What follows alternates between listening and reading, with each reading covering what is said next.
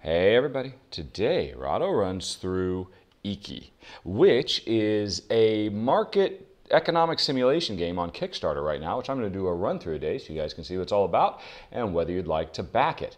Now, Iki is set in 17th century Japan in Edo, or Tokyo as it's now known. And actually, it's interesting, the board is based on a very famous painting of Nihonbashi, which was the biggest market at the time. And this real world painting is apparently like 30 or 40 feet long. It's some big, gigantic mural that shows what life was like in this period and is actually a picture of thousands and thousands of merchants and customers and all kinds of stuff. And so this board is very much inspired by that big mural although it's only showing one tiny little portion of the Nihonbashi uh, marketplace.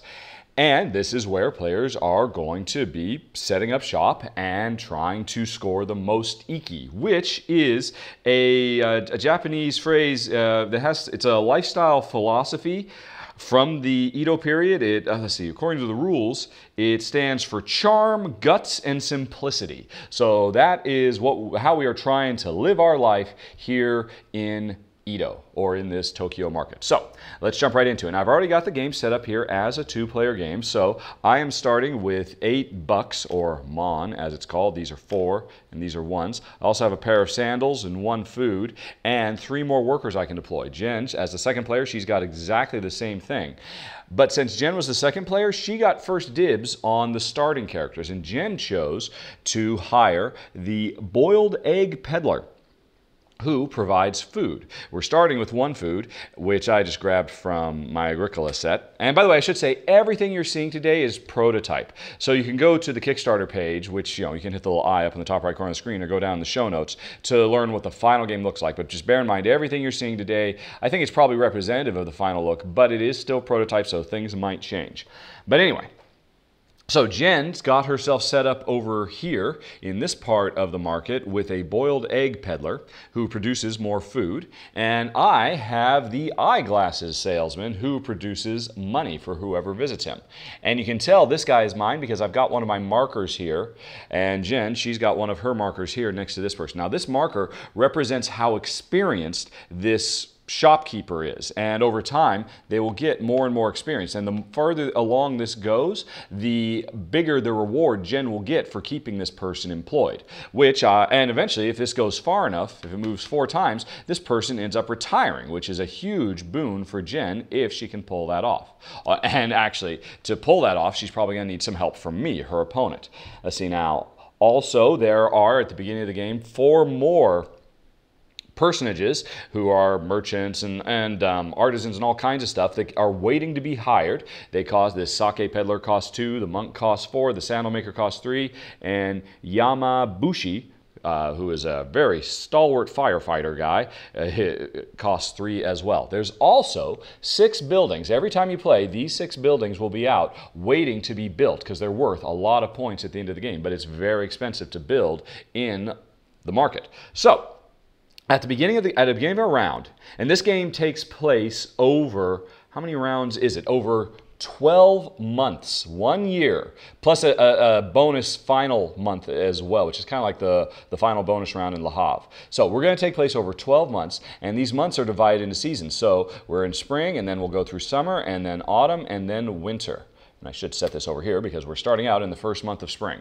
Now, the first thing that happens in a month, in a round, is we determine who is going to be first player and how far they're going to be able to move in the market.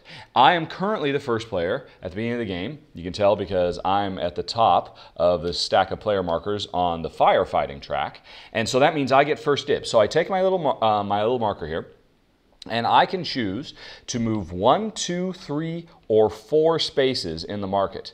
Now, in a, if we were playing with more players, This space would be available as well, which means whoever comes here can move one, two, three, or four spaces. This gives you a lot of flexibility, but in a two-player game, this space is blocked. We can't actually use that. So I have to decide whether I'm going to move one, two, three, or four spaces in the market. Now, what that means is the market itself is a rondel. This represents me, and there are one, two, three, four, five, six, seven, eight spaces in the market.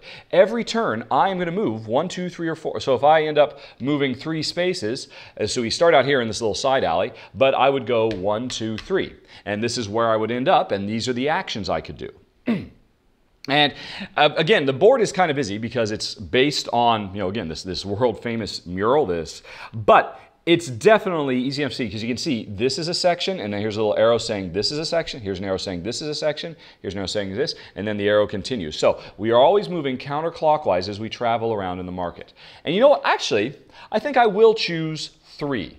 I'm going to move three spaces. And now the next player, which is Jen, she chooses she cannot move three spaces. She can move one, two, or four.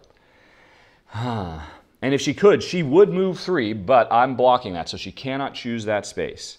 So I think she will choose to move four spaces. Now, two things have happened. We've both determined how where we are going to end up on the track, and we have also determined um, who is going to actually move through the market first. Furthest to the left goes first. I will go first because I'm at three and Jen's at four. If Jen had wanted to move first because she was in a hurry, she could have chosen the one or the two space and then she would have had first dibs. But as it is, I'll be, I'm going to continue to be the first player now and Jen is the second, or I'll be the first player to act in the market and then Jen will be the second.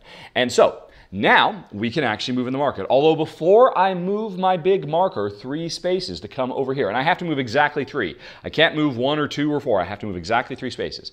But before I do that, I have an option. The first thing I do is I decide whether I'm going to hire one of these people to become an additional employee of mine or whether I'm not going to hire, in which case I can make four bucks or four mon, it's called.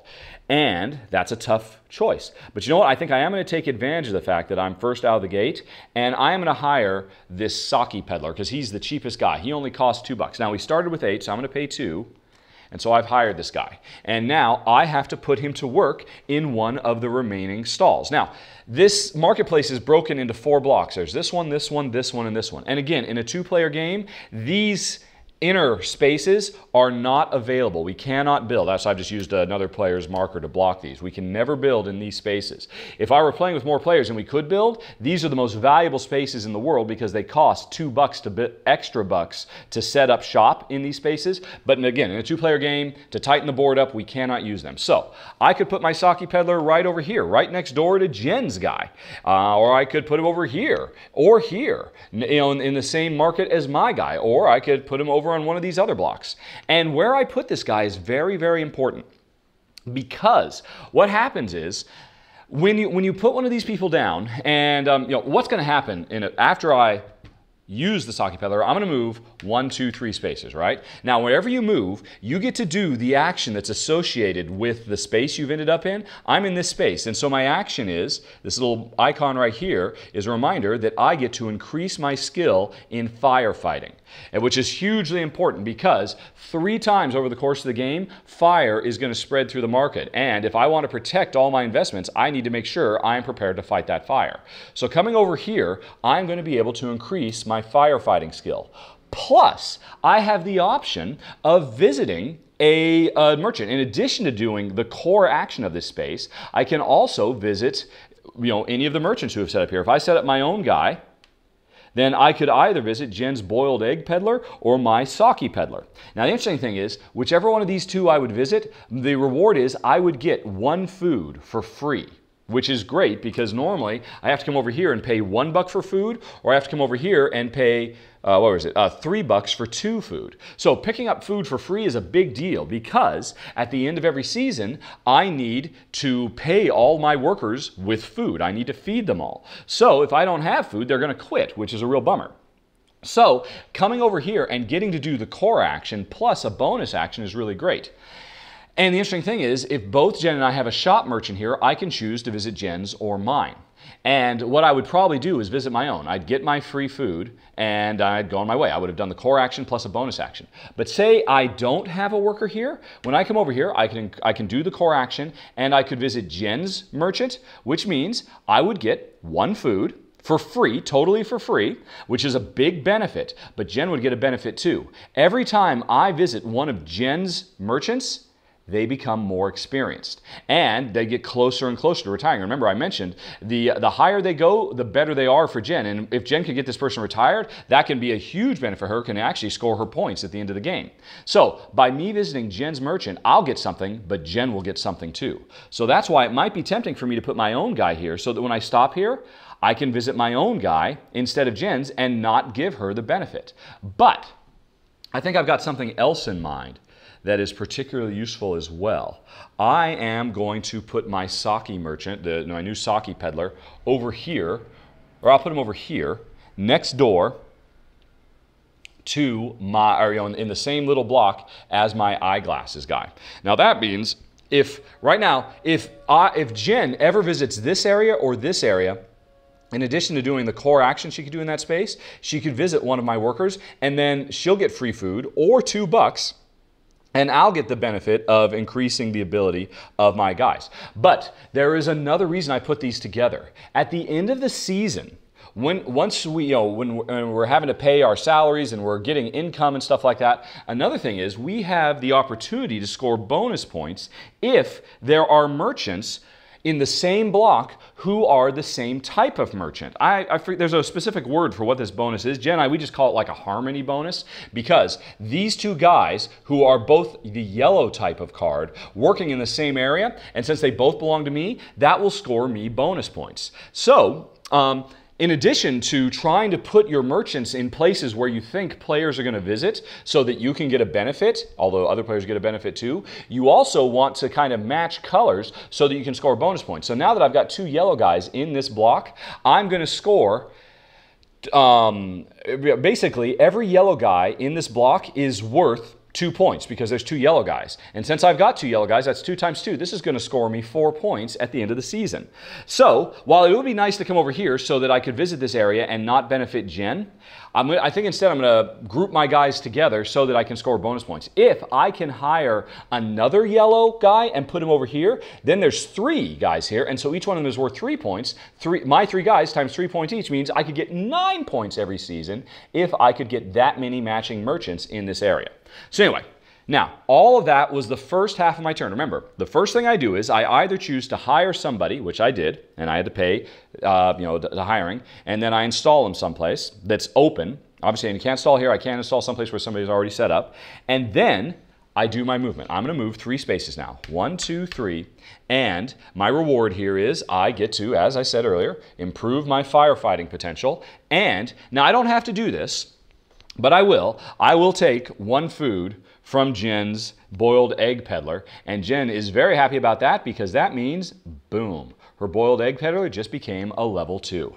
And um, while I'm not happy about that, it was definitely worth it because now I've got two food. I don't necessarily have to worry about stopping over in this, uh, you know, in um, this area or this area to pick up more food to feed my people because at the end of the season, I need two food to feed these two people. So I've now got two food thanks to Jen's market. And you know, that's a really big part of the game, the synergy between players because everybody affects everybody else in this game. So anyway, that was my turn. I moved my three spaces, but first I hired somebody. Now Jen, she's gonna move four spaces, but before she does that, she has a choice. Does she wanna hire one of these remaining three?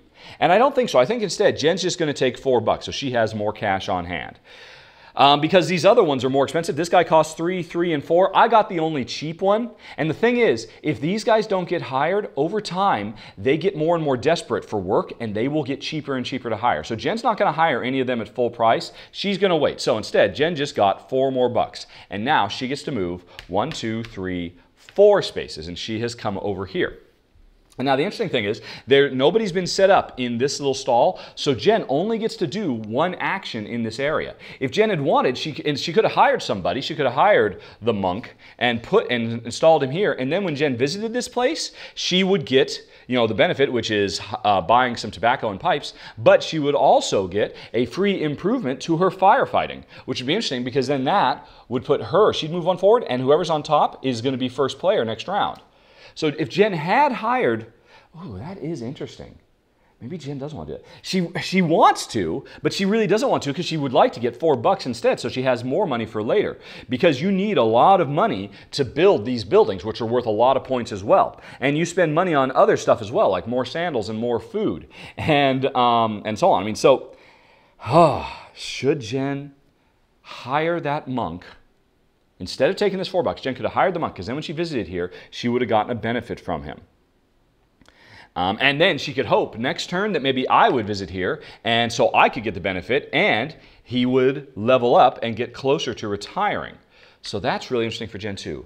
No, but she's not going to do it. She's instead, she's going to take the money. Yeah, must be the money. All right, so she took the money instead. She didn't hire anybody. She's going to wait for this guy to get a little bit cheaper before she hires him. So she's moved her four spaces. Now, an interesting thing is Jen has to move exactly four spaces because that's what she chose on the turn track. But Jen has sandals. Everybody at the beginning of the game has one pair of sandals. You can use these sandals to move additional spaces. So if Jen wanted to, she could spend this sandal uh, to move an additional fifth space. So she'd be over here and get to do this action where she can turn money or sandals into, or I'm sorry, food or sandals into money. Now Jen's not going to do that. She'll save the sandals for when she's really desperate to make a big move. So she's come over here. She gets no bonus action because there's nobody who's set up shop there. And now the interesting thing is, if I'd wanted to, I could have set my guy up over here. Remember, I was thinking about setting my guy up. I was thinking about over here. If I'd set my guy up over here, I knew Jen was going to move four spaces. So if I'd set up my Sake peddler over here, I knew it was very likely Jen would land here, and maybe I'd get to level him up. But instead, I'm choosing to move this guy over here so I can get the little harmony bonus of having regular, guy, um, you know, matching colors in the same area.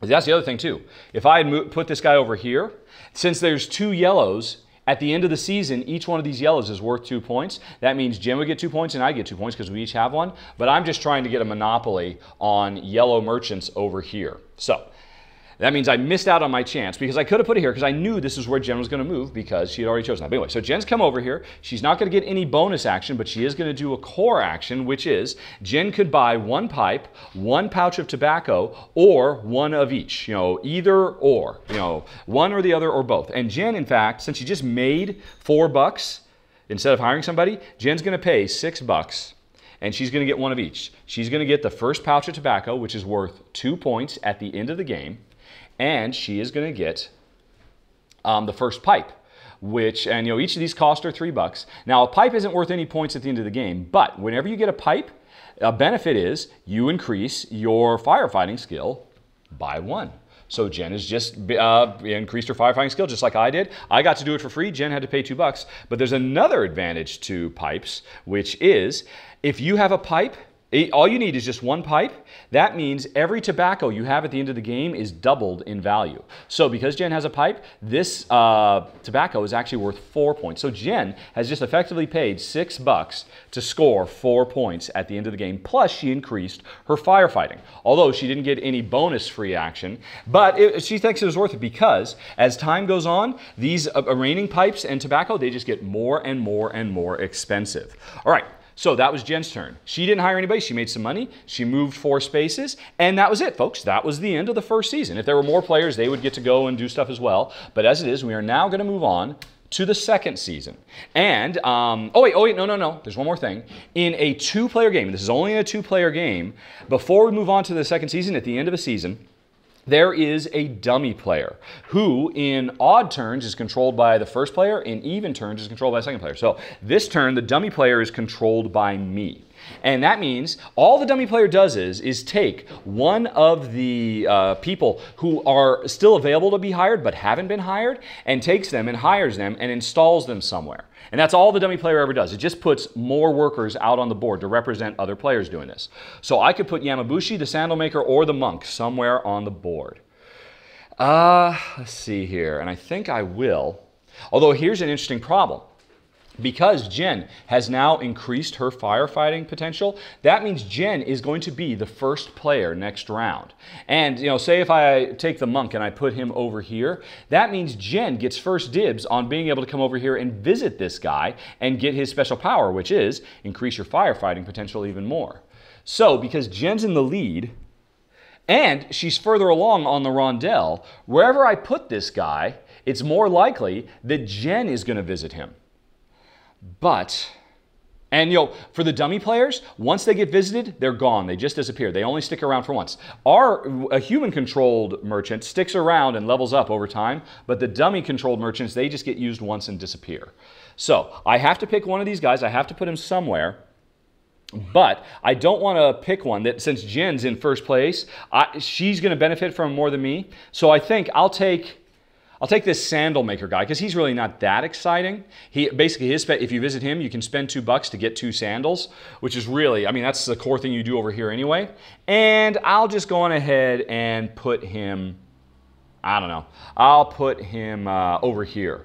Because that means in the future, if I come back over here, instead of getting free food and helping Jen, I can visit him to get some more sandals. And so it's nice to have some an alternative when I come here so that I don't have to help level up Jen's guy again. So now, anybody who didn't get hired at the end of the season, like I said, gets a bit more desperate. So they have both dropped their hiring cost by one. And over time, they can get cheaper and cheaper to the point where they're even for free. And the last thing that happens at the end of the round is always four new people come out. So we got the ox cart, the seamstress, the kite maker, and the carpenter. And so that was the end of the first season. Now we move on to season two. Jen's in first place on the fire marketing track, so she will get to be the first player to choose how far she's going to move. And that means she gets first dibs at all the different actions that are on the board. And what will she do? Well, if you'd like to find out, you can hit the little eye up in the top right corner of the screen to go to the extended playthrough, because I will play through at least I don't know, probably two, probably up to five more rounds because I'd like to demonstrate how fire works as well. On the fifth round, January, February, March, April, May, in May, there is going to be a fire. And so we have to be prepared for that, which is why we're increasing our firefighting potential. But at the end of March, we are going to have the end of season stuff where we get income from our people, but we also have to feed them food or else they quit. So there's still a lot to see in this game. If you'd like, you can hit the little I, go to the extended playthrough, or alternative, you can go to Final Thoughts. Your choice in five, four, three, two, one.